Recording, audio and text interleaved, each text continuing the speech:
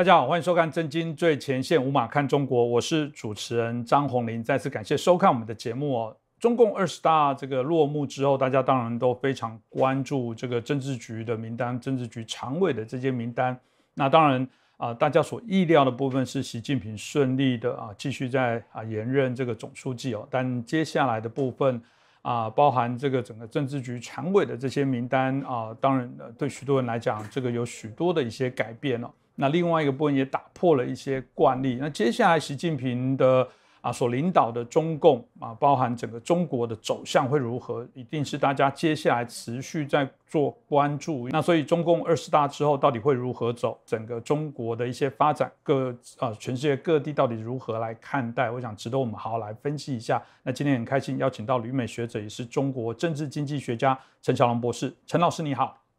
你好，观众朋友们大家好。是，我想我们就请教一下陈老师哦，因为在这一次啊，整个二十大底定之后，呃，各方从事先的一些猜测到事后针对新的这些名单，当然都有多多加评论。那到底啊，各界怎么看待这份名单？那甚至啊，世界各国的这些啊不同的一些啊媒体，或者是这些政治人物、政府，他们到底如何来回应呢？是不是可以请教一下老师？呃，这次二十大之后啊，国际媒体和智库呢？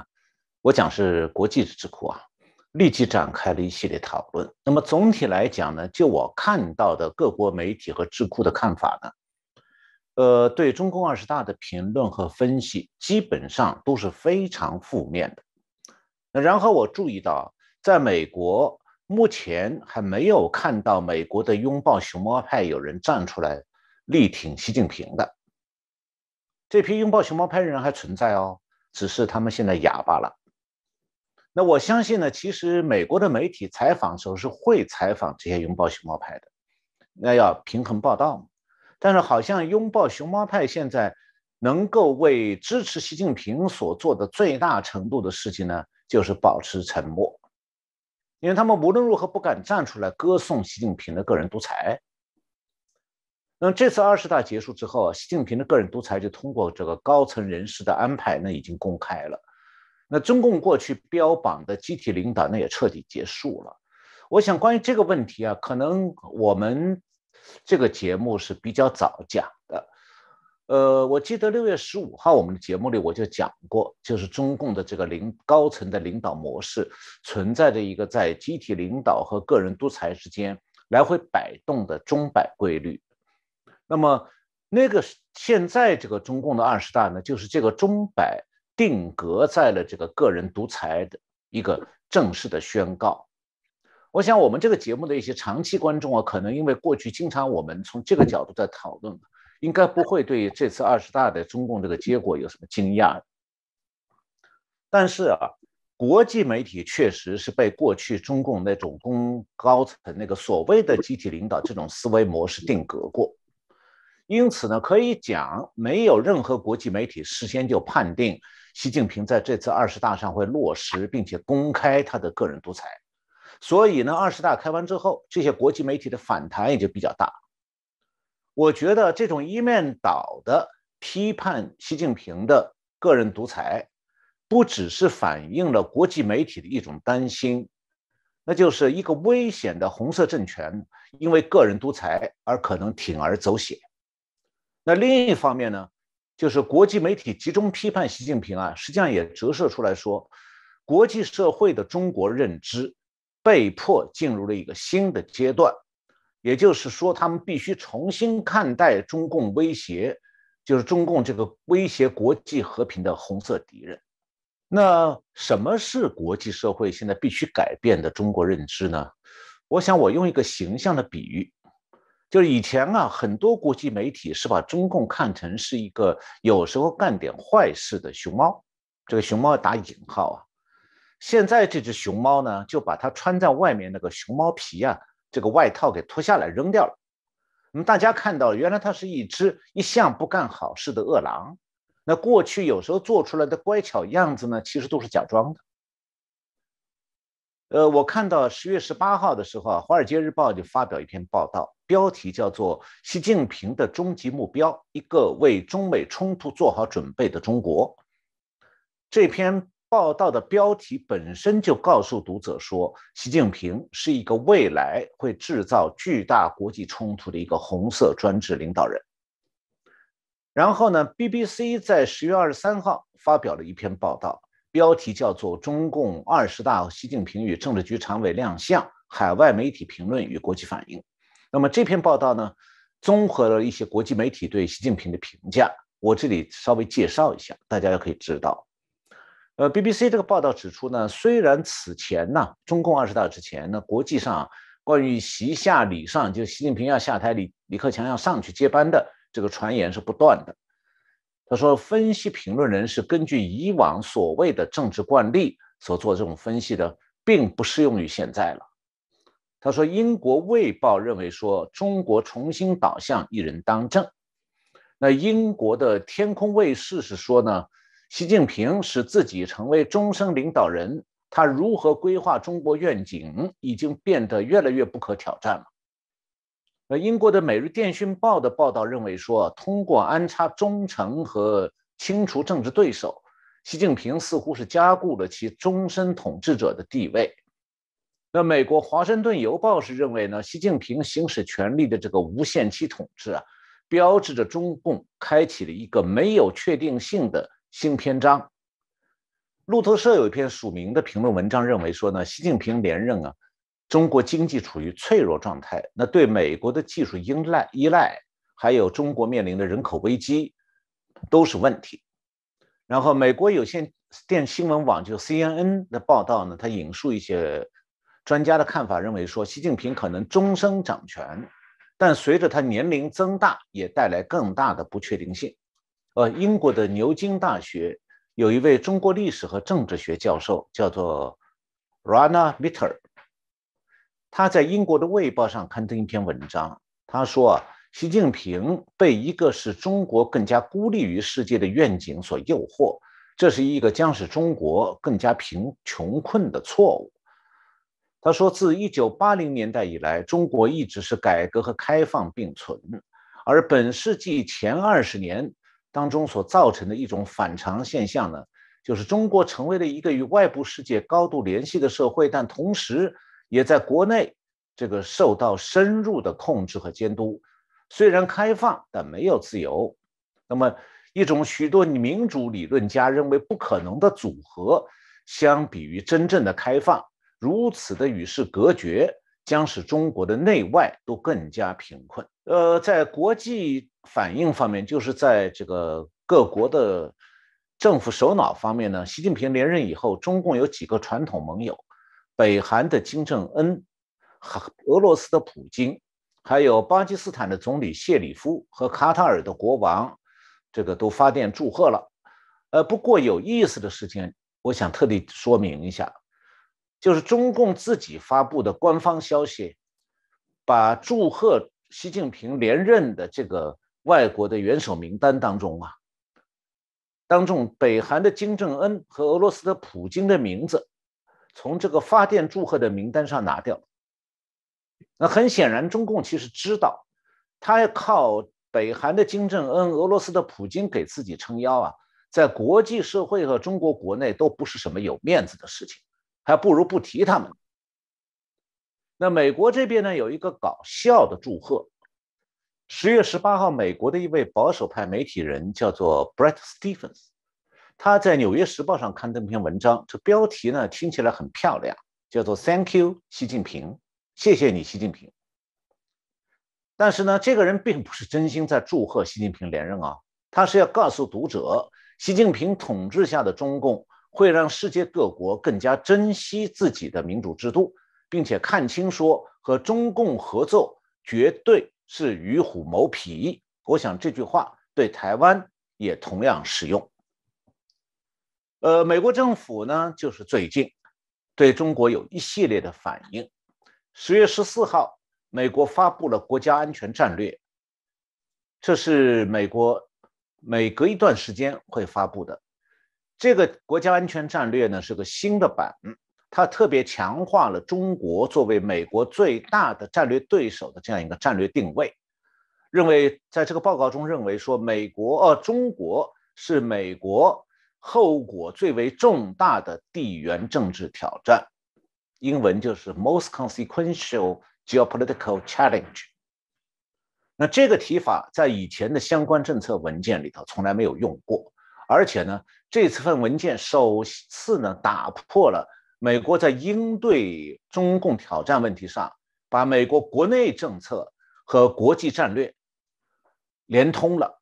就是美国不仅仅是在对外方面，在国际战略上要应对中国，而且要求美国国内的经济政策要配合美国的国际战略来应对中共的威胁。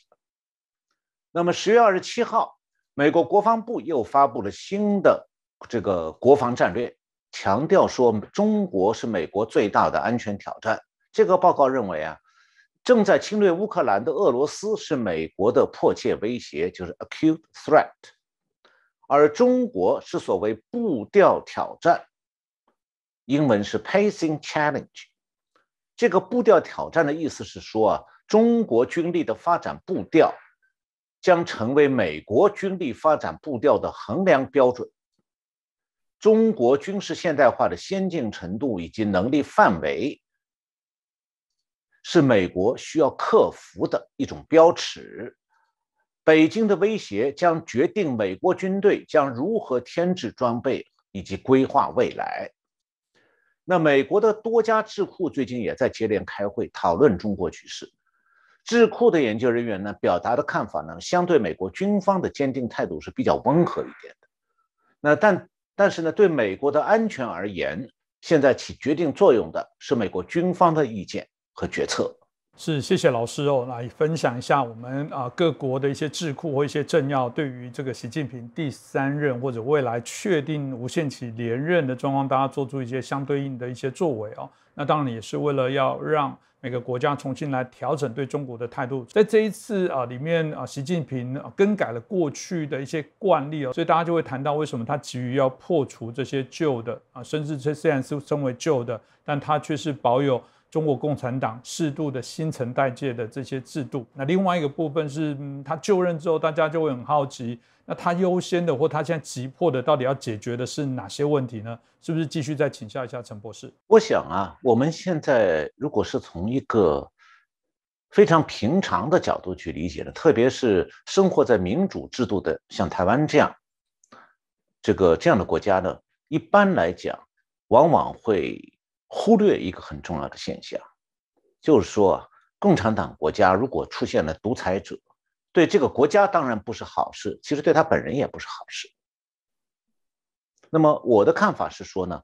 共产党国家的独裁领导者往往都有一种独裁者恐惧症。过去中国的毛泽东、邓小平都是如此，那习近平也同样如此。那么这种独裁者恐惧症的根源是什么？就是说他们这些独裁者害怕。自己过往的重大决策将来会被清算。不过呢，不同时期中共的独裁者害怕的具体内容是不同的。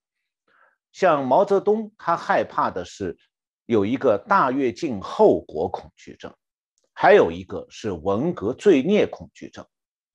那邓小平是有两个恐惧症，一个是否定改革恐惧症，一个是六四镇压恐惧症。那习近平呢是有三个恐惧症，一个是大清洗反弹恐惧症，一个是经济逆转的责任恐惧症，再一个就是对外扩张失败恐惧症。那这些概念和名词呢都是我提出来的，以前没人讲过，所以我稍微要解释一下。我先简单讲一下毛泽东和邓小平的独裁者恐惧症，那么这样的话大家就比较容易理解。中共这个最高领导人的恐惧，呃，独裁者恐惧症啊，它是有历史的。那么了解这个历史，你就比较容易理解为什么习近平有恐惧症，还有他的恐惧症在哪里。再有就是，习近平为什么一定会要独裁到底？他今后可能会怎么样做？为什么习近平很可能无法理性的处理很多问题？我先讲一下毛泽东的这个。独裁者恐惧症。毛泽东呢是上个世纪五十年代把中共建立政权以刚开始时候的集体领导变成了个人独裁，然后呢，他推动了一个激进的实现共产主义的政治运动，叫做大跃进，是上个世纪五十年代。然后把全国农村土地呢，本来是村民所有，变成了国家所有。然后全体农民变成了共产党的农奴，要无限的为政府，农民要无限的为政府提供农产品，但农民不许吃饱。结果呢，他这个政治运动饿死三千多万农民。当时呢，是老毛培养的一个副手，就是当时中国的国家主席刘少奇，帮助老毛纠正了部分的错误政策。但是他也讲过，在中共一个大会上面讲过一句实话，说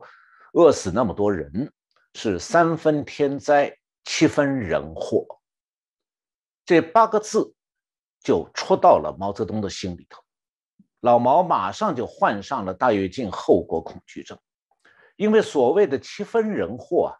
这个七分当中的人是谁啊？就是毛泽东。所以呢，老毛马上就想到说，完蛋了。这个他是大跃进的始作俑者，那么刘少奇呢，这个通过纠正大跃进的错误啊，这个赢得了当时中共各级官员的支持，而且当时在中共的会议上呢。刘少奇还根据相当一部分中共官员的请求，让毛泽东退居二线，退退了一段时间。那么这时候毛老毛就看到一个可怕的景象，就他自己的接班人刘少奇正走在苏共第一书记赫鲁雪夫那条路上头，因为赫鲁雪夫是在斯大林死了以后就揭露斯大林的罪恶，批判斯大林，让斯大林名声扫地。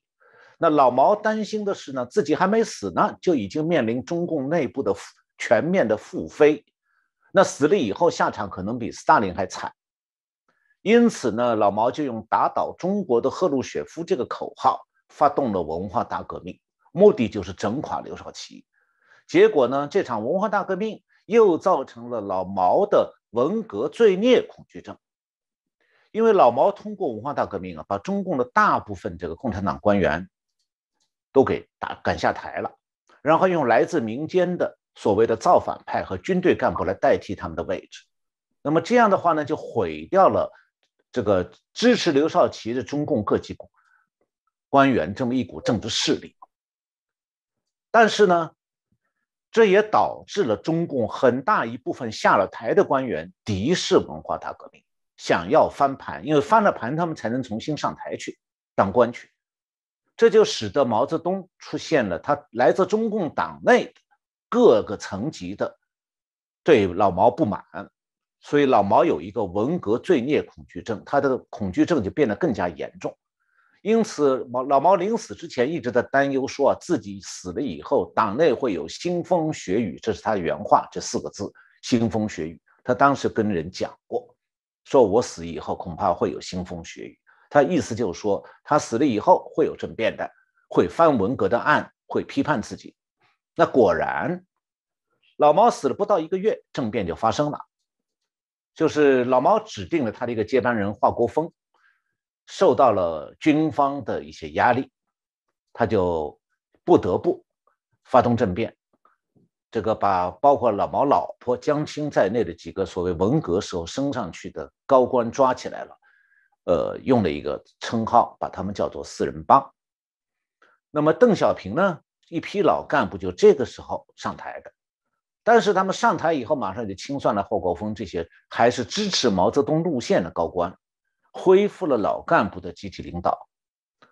那么当时呢，为了杜绝毛泽老毛这一套这个永久的个人独裁啊，中共在一九八二年十二月的这个全国人代会第五次会议上修改了宪法。规定国家主席和国务院总理，还有全国人大常委会委员长，连续任职不得超过两届。那看起来呢，中共最高领导人的终身任职制度好像从一九八二年就正式确立了。所以也到这次中共二十大的时候，习近平要连任，必须改宪法。那么他早就提前改过了。那么很多人就认为说他不正当。其实呢。中共的潜规则，枪指挥党并没有因为这个连续任职不得超过两届这个宪法的条文受到约束的。邓小平就钻了这个空子。邓小平实际上一直是终身掌权的。他在一九六四八一九八九年六四镇压之后，这个他是不想背这个六四镇压这个骂名，所以在一九八九年镇压完以后的秋天，就辞去了军委主席的职务。那么这时候呢，邓小平就变成一个名义上没有职务的一个一介平民啊，要加引号的。但此后几年，邓小平实际上仍然掌握了军权。那么江泽民呢，就是被老邓安排到北京担任中共总书记和军委主席。但是老江只是一个名义上的最高领导人，他差一点就被老邓这个一介平民给干掉。老邓现在的中国是被中共吹捧成改革开放的总设计师，其实他设计的最大的一件事情。就差一要干掉总书记，一介平民干掉总书记和军委主席。那么老邓之所以能做到这一点，这个发这这件事情呢，是发生在一九九二年春节的时候，老邓突然以一介平民的身份南巡到深圳。那么中共的媒体后来是吹嘘说，这是老邓为中国送来了改革开放的春天。其实老邓南巡的意图，主要是为了撤掉江泽民这个总书记兼军委主席。那一介平民邓小平怎么样能够撤总书记和军委主席江泽民？关键在于说，老邓虽然是从军委主席位置上退下来了，他通过军委副主席杨尚昆牢牢掌控的军队，军队的一切事务仍然听命于杨尚昆，而杨尚昆则听命于邓小平。那么邓老邓小平当时之所以要撤掉老江江泽民，就与他老邓的另外一个恐惧症，就是否定改革恐惧症有关的。因为他害怕自己曾经支持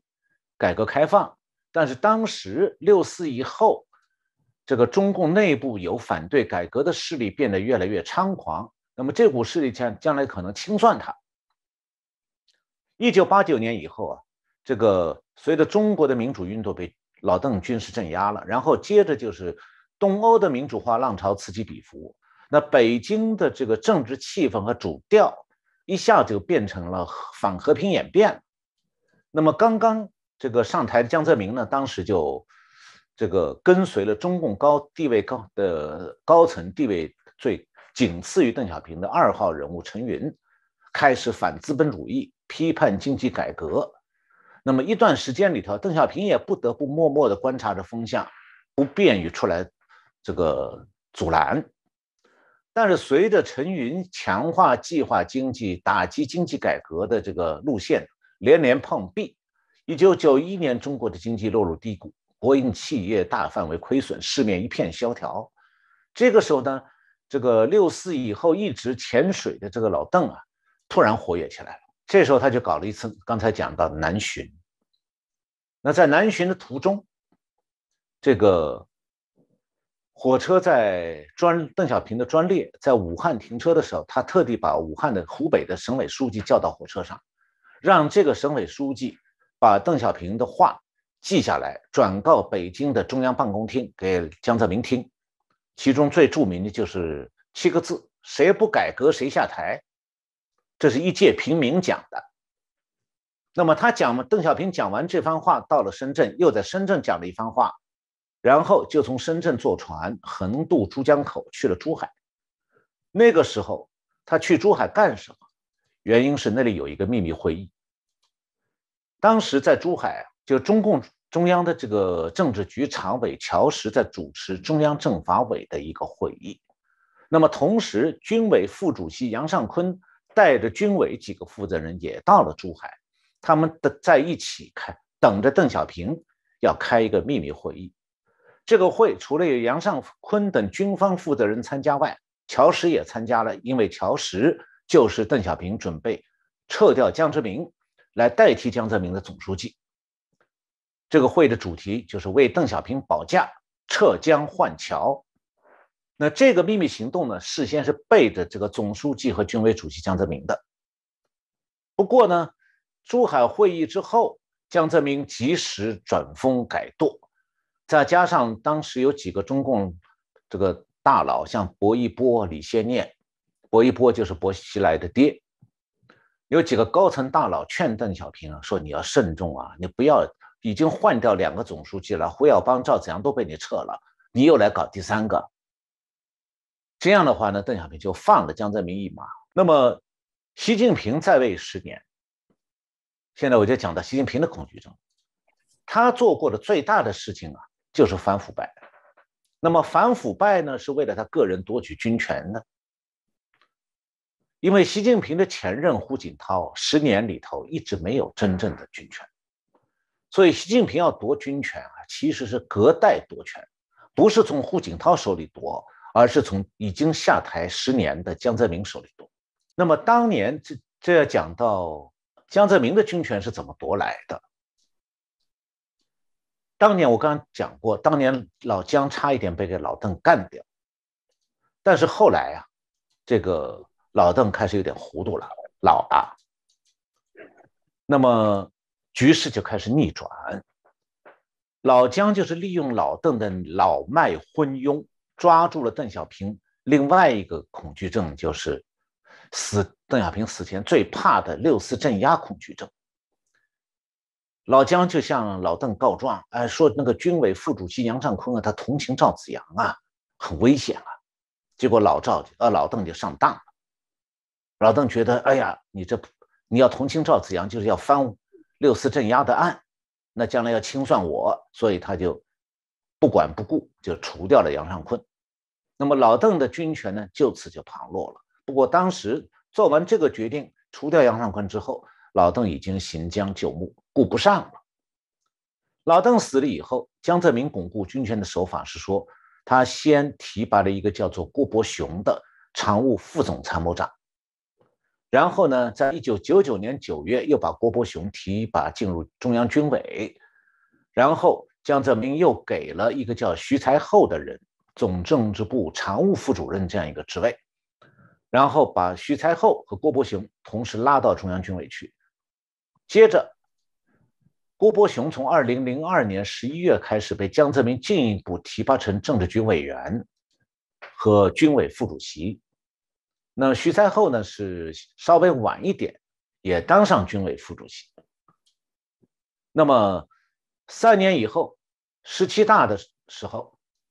这个就是习近平上台这一年，郭伯雄和徐才厚呢是退下来了，但是这个他们在这个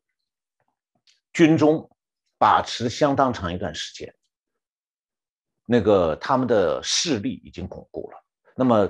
所以通过这个郭伯雄和徐才厚留在军中的这个大批的人马和势力呢，这个他们仍然可以帮江泽民。在一定程度上掌握军权，所以胡锦涛二零零二年上任以后，江泽民是不肯放弃军权的。他担任军委主席有两年之久，这两年当中，胡锦涛只能管党政事务，不能过问军队事务。所以江泽民是卸任总书记之后，还是名实实际上的最高领导人，一直到老江是把刚才讲那个郭伯雄和徐才厚啊安排成。主管军队的双雄之后，老江才放心了，说现在我可以退下来了，从军委主席的位置上退下来，因为有郭伯雄和徐才厚给自己保驾，他就不至于遇到压力或者危险。因此呢，这个军队就在胡锦涛任内整个十年内，基本上是听听江泽民的。那么老姜还在一九九五年做了一件事情。他改变了中共那个武装警察部队的管理体制。这个武装警察部队的中国有八十万人，他把这八十万兵力的部队划给了中央政法委指挥，而中央军委只负责武警部队的装备还有这个人事的升迁问题。那么同时呢，江泽民提拔了周永康，让他先担任胡锦涛时期的公安部长，负责指挥武警部队。然后又安排周永康进入政治局常委，以中央政法委书记的身份继续指挥武装警察部队。接下来就是讲到了习近平他那个反腐败清洗恐惧症了。因为啊，习近平二零一二年上任的时候，北京这个京城里是风云迭起，大案不断。从政治局委员、重庆市委书记薄熙来案，到中央办公厅主任令计划案，再到刚才讲那个周永康案，这都是胡锦涛时代这个近年沉淀的爆发。那么当时的习近平刚刚上任呢，名义上是军委主席，但是不能有效掌控军权。这种处境呢，和胡锦涛当年的十年前的处境有某种类似，但也有不同。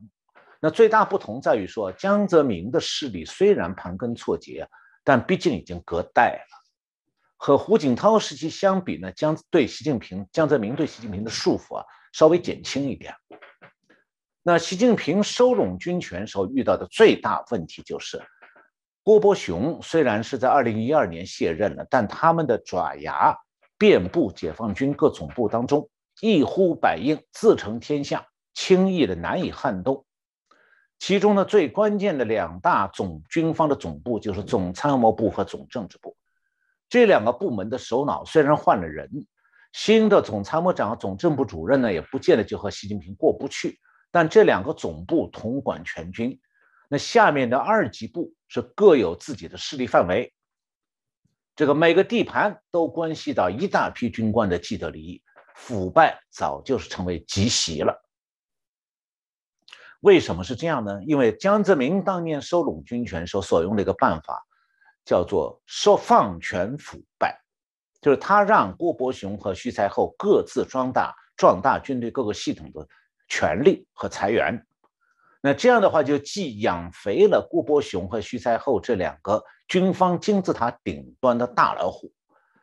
也养活了军队各级的中老虎、小老虎。这个大老虎钱多到什么程度呢？就是被抄家的时候，他们办公室里都能抄到上亿人民币现金。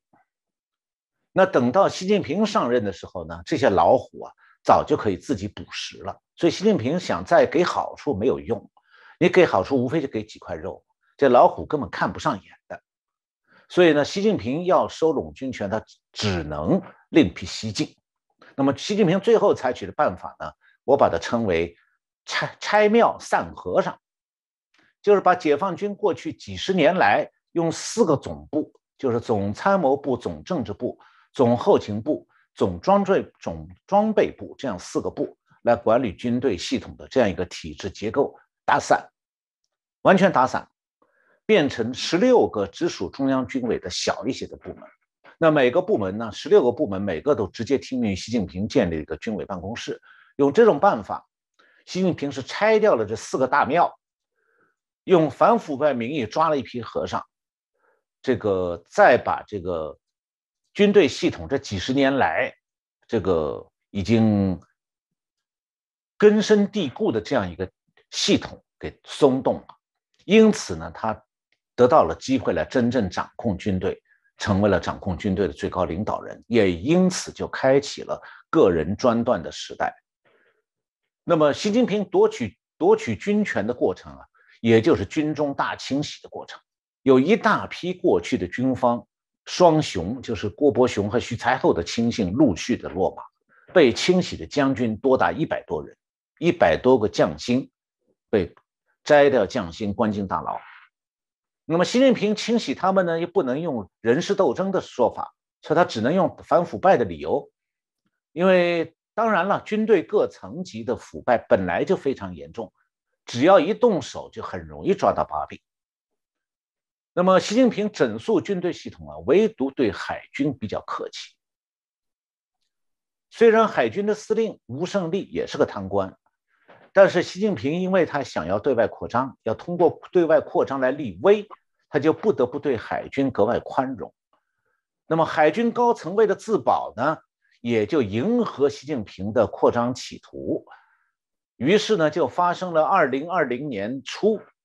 中共海军舰队高调到美国中途岛海域来演习示威，结果就点燃了中共冷战。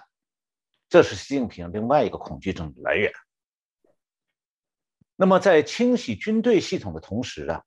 习近平还在党务政府部门开展大清洗，因为他不能只清洗这个军方，因为政府部门这个。共产党的各个高层部门也都存在大批的江泽民时代留下来的人。那么他这样做，无非还是为了巩固个人的权利。那党务系统这个清洗呢，这个和政务系统的清洗，这个一开始是从这个清洗中央办公厅主任的令计划这个案子开始的，然后呢又清洗国家安全部，就是当时国家安全部有一个线人，是个商人叫郭文贵，外逃到了美国，先到香港，再到美国。那么他是替国家安全部掌握实权的副部长马建掌管的一笔几十亿美金的国家安全部的海外秘密资金。这件事情呢，引发了马建被抓，马国安部的实实力派人物，然后导致整个国安部系统一直和习近平过不去，一直到现在依然如此，因为他动了太多人的饭碗。那么让习近平展开全党大清洗啊，他有一个不肯讲的理这个问题，就是说是个经济冲击问题。就是自从反腐败开始啊，这个中国的中共的各级贪官就慌慌忙忙往海外转移资产，结果导致中共的外汇储备从二零一四年六月的四万亿美金，一年多一点就掉到二零一六年底的三万亿美金了。跑掉了一万亿美金，那如果中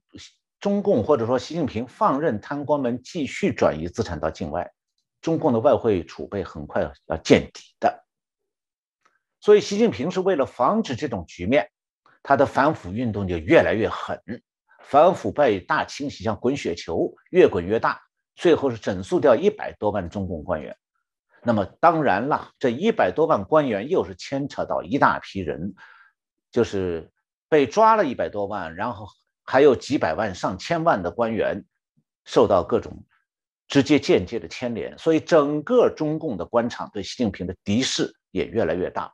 这就导致了习近平有了大清洗反弹的恐惧症，他害怕大清洗反弹，这是习近平为什么一定要连任的一个重要原因之一，因为。习近平最大的敌人在哪里？就在中共党内，就是中共的精英。这些精英是通过改革开放发了横财的。现在习近平一下子通过反腐败不许他们出国了，他们藏在海外的钱现在也摸不到了。那所以他们一直在盼望说，习近平你不要连任，最好滚蛋。这样的话，他们还有翻身的希望，而且希望说下一个人无论如何，呃，肯定不像习近平这样。那么像胡锦涛那样就好了，什么都不管，这样的话，贪官们就赶快把国内的钱再进一步的一卷而空，就躲到国外去当愚公。那如果习近平放弃最高权力，反习的大清算就会让习近平本人死无葬身之地。当然了，如果有反习大清算发生的话，他是不会用打因为习近平打击腐败做理由的。他会用另外两个理由，那两个理由也就是习近平另外两个这个独裁者恐惧症，一个就是经济，习近平在任内这个把中国经济拖到了这个危险边缘，虽然这个责任不是习近平的，就是造成经济逆转的。责任一开始其实是温家宝和胡锦涛的，但是这个账只能算在胡锦呃习近平头上。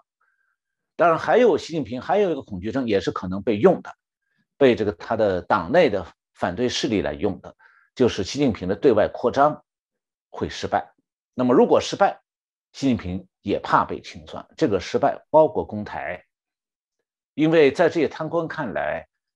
我们的钱都藏在美国，中美关系恶化，我们永远也出不去，这钱永远也没了，等于白忙。所以，中共官场对习近平的不满是不会自然的化解，或者说是这个取得党内的和解，那只可能呢是中共官场对习近平的不满，只能是被独裁者用政治党内的政治高压来压住，但这是一颗定时炸弹。中共的贪官们过去贪，今后还想贪啊！他们的目标都是移居国外。但是呢，中共政权要想活下去，要生存下去，是绝对不能允许他们掏空中国的财富。所以这是个死结，中共政权的死结，中共精英与中共政权之间的死结，就是中共的贪官这些精英和中共政权是相辅相成的，但是他们绝对不会生死共依，而这个问题习近平是无法解决的，这就是他只能连任下去了，一直任到他死为止。所以，谢谢陈老师所说的部分。这一次习近平顺利连任，像外界预测也差不多是如此。但真正啊，这个拍板定案之后，我们看到，不管是股会是，或者是我们看到中国相关概念股这些啊，所有的部分都产生了联动的这些影响。那我们看到了，包含这个美国银行在二十大之后也评估哦，中共的新的领导班子。啊，因为它更为这个集权哦，所以他们对于这个中国经济的前景不是非常的乐观哦。所以我们想请教老师哦，这种所谓的二十大之后，这种习天下红军的经济可能会产生哪些改变？我先讲一下这个习近平面对这个经济问题是怎么回事。因为在经济领域啊，很多人认为说李克强这个总理，呃。很懂经济，其实习近平这个管家李克强对经济也是半懂不懂的。那么习近平本人更加是一窍不通，所以这两个人啊都没有看出来，他们上任的时候，中国经济正在朝着危险的悬崖狂狂奔。相反啊，习近平开始以为说他可以坐享其成的，把胡锦涛时代的经济基础啊当做自己上台以后决。崛起的一个本钱。那么，真正的问题在于说，是因为温家宝当总理的时候，奠定了依靠房地产来拉动经济这样一个基本方针。那这个以房地产拉动经济的作为一个主要的方针呢，一开始一些年啊，好像是蛮顺利，一直到二零二一年，房地产泡沫最后是不可避免的破灭了，你带动中国经济就不断滑坡，然后呢，再也不容易翻身了。那么滑坡是滑在习近平任内的，所以对习近平而言，这个政治责任非常大。中共内部讨厌他、恨他的人，抓住这个话题来批判习近平啊，是一个用起来非常顺手的棍子。因此，习近平也就有了经济逆转责任恐惧症。他只有继续连任，你们才能不批判不了他。他一下台，那就完蛋了。那么，在政治高压和这个经济独裁下，似乎习近平是能够遏制贪官，但是中共经政权的这个经济命脉、房地产泡沫是已经破灭了，中国经济正在苟延残喘。那这个问题最后就归结于说，中国经济还能不能重获生机？那中国经济能重获生机吗？几乎不可能。现在很多人是不相信啊，说中国这么个庞大的经济会撑不下去。当然，这个问题呢，我们只能拭目以待。我不想在这里这个，呃，做很多的这个精准的预测，因为预测从来不太精准的。不过呢，我想说一个结论，就是我认为啊，中共要想有机会挽。就这个经济，重造活力，这个话题很大，今天不能进一步展开了。我认为说中共做不到了，不可能。那么刚才主持人提到说，这个中共的这个二十大之后，在国际金融界马上就有反应了。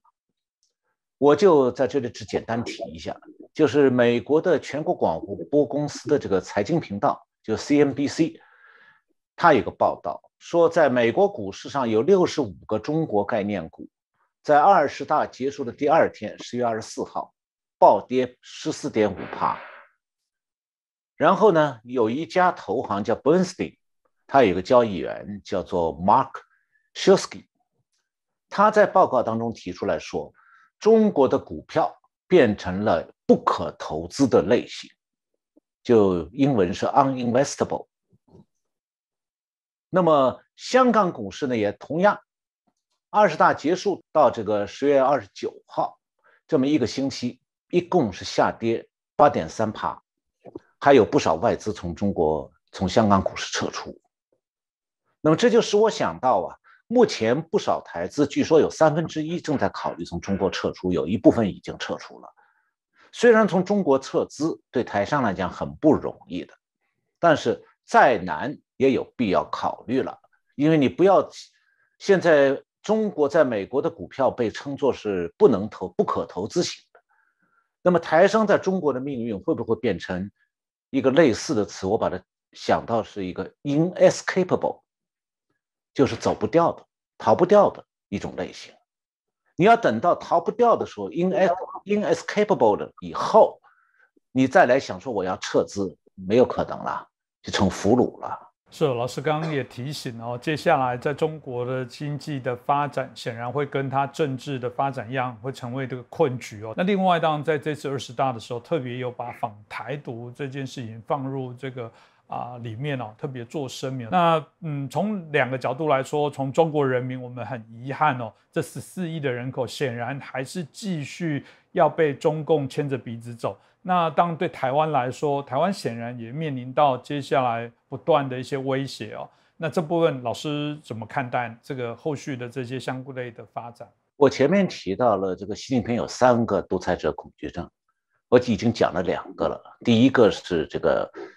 这个就是反腐败清算的恐惧症。第二个呢，就是这个经济失败恐惧症。现在我要讲第三个，就是和台湾问题有关和台湾的命运有关的。我把它叫做对外扩张失败恐惧症。这和台湾面临的威胁是有直接关系的。那习近平这个对外扩张的野心啊，是怎么来的？我在节目里讲过很多了。那是红二代从胎里带过来的一种价值观。就是要称霸世界的。那既然中共冷战已经被习近平点燃了，那中美关系就不可能再重新回到蜜月状态了。但是啊，习近平对外扩张的部署，包括进攻台湾，已经遭到美国、日本的强力反制。那么乌克兰战争也把中共海军的弱点完全暴露出来了。所以啊，习近平的对外扩张面临失败这样一种可能性变得越来越大。那么这样的。失败的可能性也因为台湾的抗中保台的国策在实施，台湾这个抗中保台国策的国策的实施呢，也增加了习近平试图攻台的失败可能性。正是因为可能面临这种失败，习近平现在也要连任，这是他要连任的另外一个原因。他是想在连任以后呢，既希望有机会再试一把，比方在台湾。公台上能够得手，然后多少挽回一点他这个大国领袖的面子，同时呢，也希望如此来巩固他的地位。那么，他也另一方面，他又希望讲说，即使因为担心对外扩张失败而不动手，也可以因为自己还在位，就是他就避免了说，因为严重恶化中美关系这个政治责任要追究起来的话，他也一样要完蛋。那么，中共有没有可能通过对外扩张重获生机呢？对外扩张最主要是表现为使用军事手段，乃至挑起战争。那中共在台海挑起战争的最大障碍是美国，他要避免与美国交战，就很难阻止美国和日本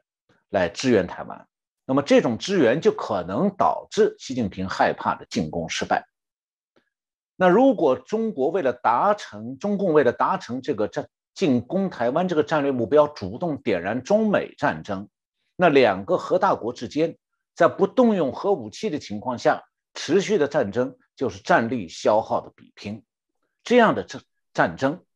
中共是一个面临经济下滑又严重依赖外国资源和外国市场的一个这样一个国家，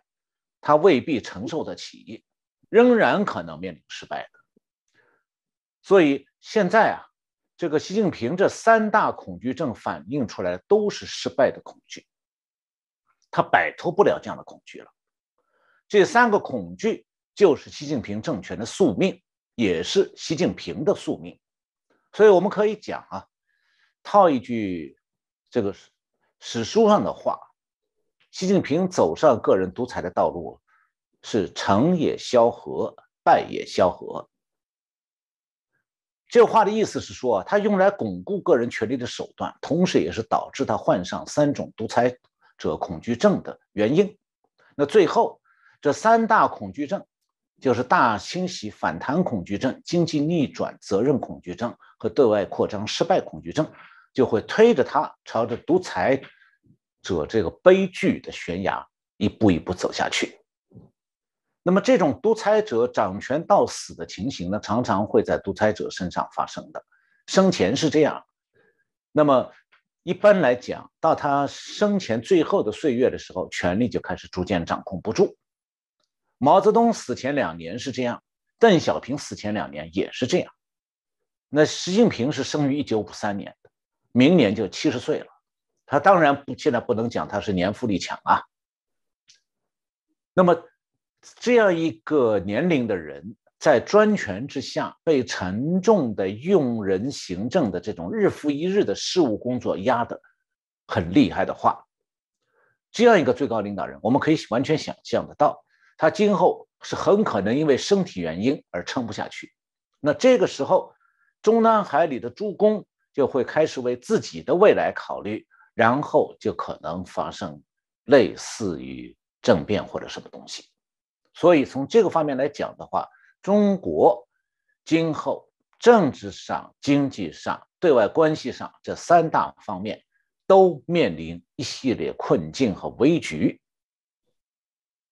那么，台湾在这危局面前，如果能挺到中共这个进入危局，台湾的最后安全就真正落实了。是哦，谢谢陈老师今天帮我们分析整个习近平继续连任之后整个政经局势哦，有可能的一些发展，跟我们可能要对应关注的一些事情哦。所以我讲，先先谢谢陈老师，很清楚的让我们啊了解这些事情，了解这些脉络。我们还是希望去敲醒啊更多的人。很多人都说这个蓝营里面啊，对于中共的部分来说会有不同的光谱。我认为没有哎，我至少从小到大被蓝营训练就是反共，反共就是蓝营的特色跟它的基因。如果蓝营的人不反共，那叫紫营，请他们不要称自己是蓝营，我觉得这才对哦。今天再次谢谢陈老师，也感谢大家的收看。谢谢洪明兄，谢谢观众朋友们收看我们的节目，我们下次再见。